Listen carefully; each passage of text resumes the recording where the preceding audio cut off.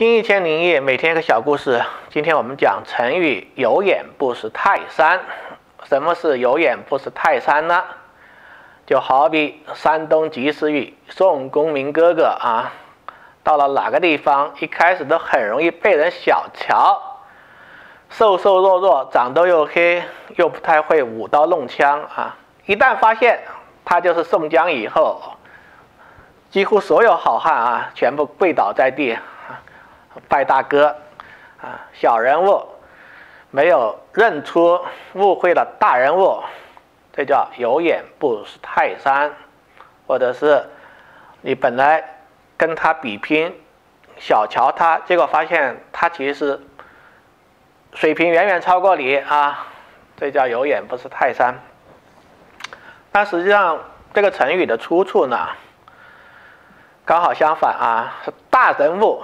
小瞧了小人物，没想到他很牛，很有出息，尤其是用在老师错误的看学生看走眼了啊！有眼不识泰山里的泰山呢，它不是山东泰安那个泰山，也不是指岳父，而是指鲁班的一个弟子叫泰山。我们知道鲁班。是中国木匠的鼻祖啊。实际上，古时候木匠分很多种，分了七种，叫做啊，轮舆、弓弩、车匠、直，做轮子的哈，做车厢的，做弓箭的，做这个兵器的。割毛的木柄的，做车的配件、农具配件的、农具的啊，还有做这个钟鼓这些乐器的木架子的那种比较高贵、精密的这种木质器具的，这个叫职。匠呢，才是真正是指造房子、造宫殿，这个叫匠。鲁班呢，应该是属于这一种，他是鲁国人，我们又叫公输班。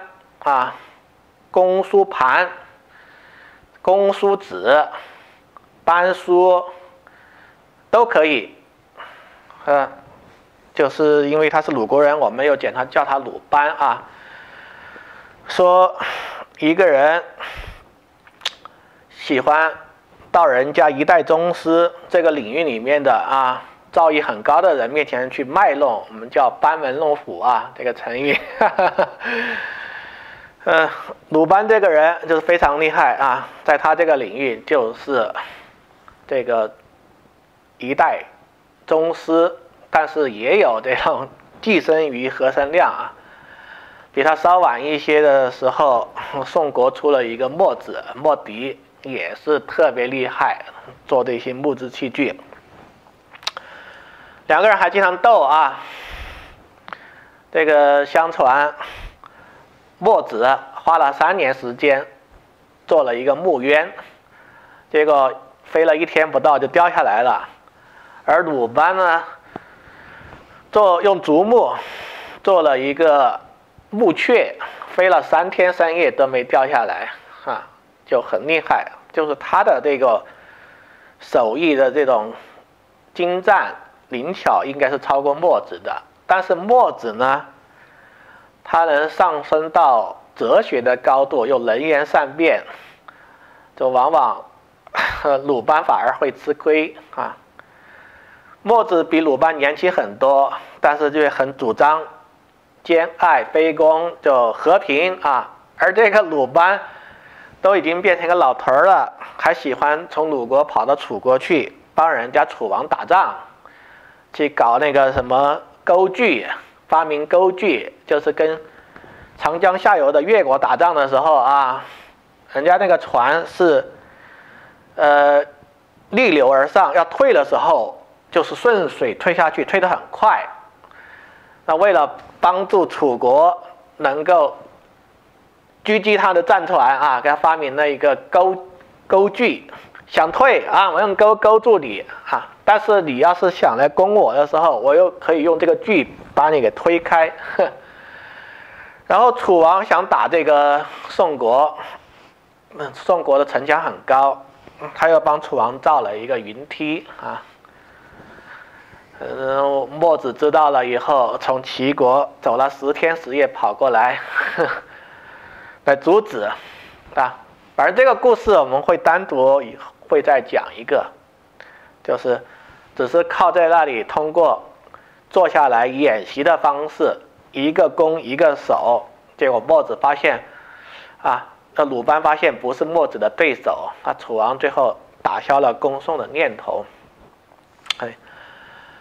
呃，所以在这个哲学层面、政治方面、战争方面，墨子是占上风的；但是在技巧方面啊，发明、创造方面，鲁班是占上风的。相传像什么锯子呀、刨子呀、卷尺、墨斗这些木工的工具，直到我们今天在用的啊，都是他发明的。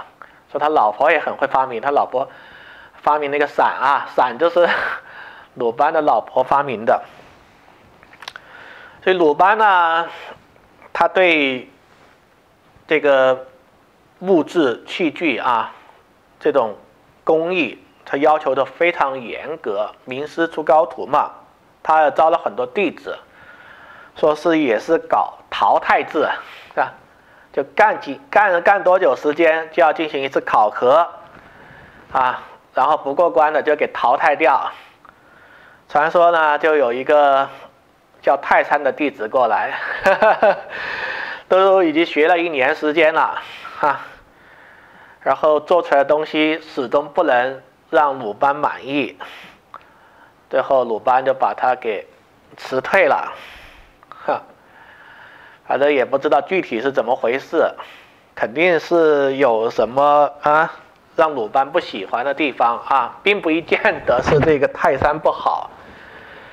结果几年以后，鲁班有一次出去游玩，在集市边上呢，就看到有人在卖一些竹制的家具，做的非常精美啊，好多人围着来买，赞不绝口。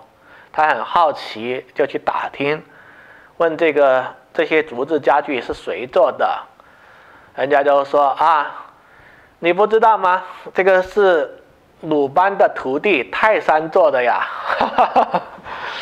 哇，他才知道，然后就发出一个感叹啊，叫做“有眼不识泰山”，以为不行的一个徒弟，没想到其实原来这么杰出。我是在这个领域的泰山北斗，居然都看走眼了。可能也就是一个比较特殊哈，特殊的徒弟，也许人家是对这个竹制品特别有心得、有想法，对吧？然后鲁班可能都是做一些高大上的东西，也许他觉得你用竹木做那个木鸢，三天三夜飞了不掉下来，引发他特别的兴趣呢，想在这个领域钻研呢。然后在木制品方面，造房子方面。可能不是很上心啊，完全有可能。这就让我们想起孔子也有这样子的故事，看走眼。呃，我们知道孔子有一个呃著名的典故啊，也是成语，叫“朽木不可雕也”。朽木不可雕是骂谁呢？骂他一个叫宰予的弟子。这个宰鱼呢，就是一个喜欢那种啊，问十万个为什么的那种人。放在今天，在老外这里很喜欢这样的学生，但是放在中国的教育体制里面，放在古时候，让老师很讨厌，对吧？不认认真真的听，老是喜欢来驳斥我。啊，孔子说守孝三年，这个宰鱼。就非要问为什么不一年呢？一年我觉得就够了。然后孔子很强调要兢兢业业，对吧？这个结果这个宰鱼白天有一次的睡大觉，把给孔子给气死了，就骂他说：“朽木不可雕也。”但实际上这个宰鱼，呃，也是孔子很杰出的一个弟子啊。能言善辩，后来也很有名气，被列为孔门十哲之一，就是叫子我的这一位。除了宰予，还有啊，像这个子羽，也是被孔子看低轻视的，只仅仅因为子羽这个人长得挺丑，非常丑，太丑了，孔子就不太喜欢他，不太欣赏他。没想到子羽后来呢，到南方去啊，很受重用待见，弟子自己的弟子都达到三百多人。所以孔子晚年发出这样的一个感叹：哈，无以言啊取，无以言取宰予，啊，无以言取人，失之宰予；宰予以貌取人，失之子语。啊，我们很熟，以貌取人，失之子语；以言取人，失之宰予，就是来自这个典故啊。孔子也是看走眼了啊，所以有眼不识泰山，就是这个意思啊，就是大人物看走眼了小人物，但是到了我们今天，结果我们就刚好 相反，变成小人物误会了。不认识或者冒犯了大人物啊，比我有钱、有才、有权、有位、有势力、有能力等等，我们叫他是泰山啊，我有眼不识泰山，泰山是这个样子，呃，好像是有点赔礼道歉的那种啊，或者也是一种谦虚客套啊，但实际上是看低、看走眼的意思。从古至今，这种事很多啊。我们经常看到好多大明星光芒万丈，但事实上，他说起他过去刚出道的故事、成名的故事，经常都会被人家那些导师啊、录取的这些考核的这些啊、什么导演啊，经常会看低，甚至给气哭骂哭啊。那个才叫。有眼不识泰山，到人家以前是个小人物，现在反而变成泰山北斗了，就好像星爷的电影《喜剧之王》，啊，一直都是一个死跑龙套的，但始终坚持，啊，呃，临时演员也是演员，即使是路人甲乙丙丁，也一样是有灵魂的。然后那个吴孟达总是看不顺眼他。星爷每次只求一个便当，他都不给。星爷就问为什么？吴孟达就说：“你想知道为什么？为什么？就是因为你不配吃这碗饭啊！”只是星星爷真实的辛酸过往，但实际上呢，最后啊，香港演艺圈很多当年大佬都不喜欢、看不起他的星爷，现在成为。这个行业里面的泰山北斗，这叫有眼不识泰山。